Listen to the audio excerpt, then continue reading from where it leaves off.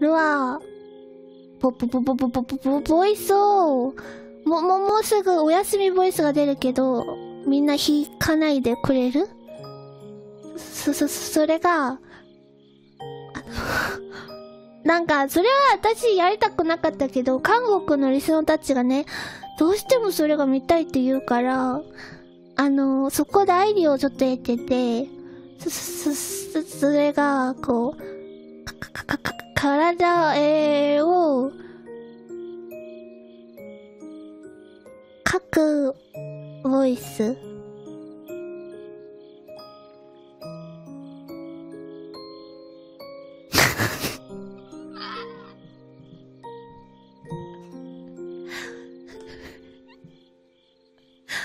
ASMR ボイスなんだよ。一応全部 ASMR だけど、ふふ、もうそういうことは、なんかいきなり思い出してね、ちょっとみんな聞いてショック受けると思って。まず、あの、あんまりにも、ちょっとまずいからさ、アイドルだし一応。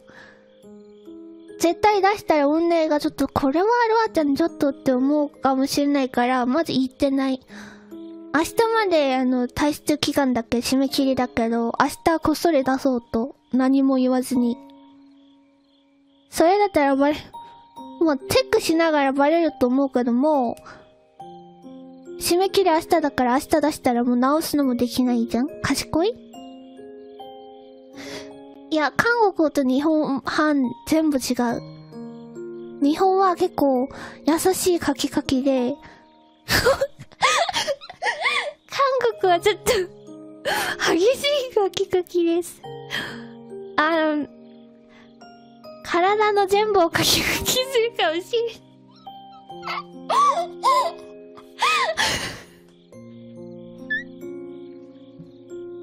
ごめん、ごめんなさい。ごめん。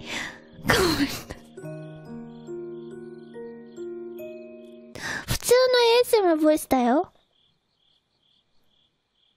ね、初めての ASMR ボイスで、それもね、あの、名前が2011、おやすみ、かきかきおやすみ ASMR ボイス。初めてで、バイノラルマイクで、かきかきお風呂場で一人で独演、マイク持ってってしたけど、もう、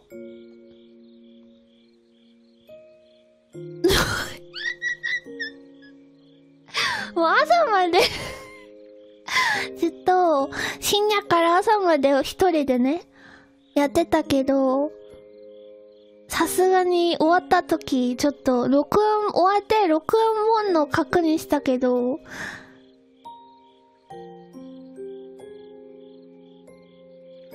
なんか賢者タイムっていうか、そういうなんか、正しい表現があんまりないけど、そういうのが来てて、まだシュシュールあ、シュールヒール、ヒールみたいな、そういう感じで、もう一人で、お、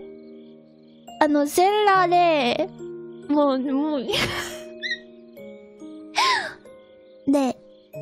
楽しいと思う。記念の、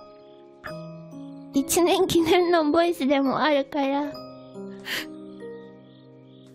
みんなよろしくお願いします。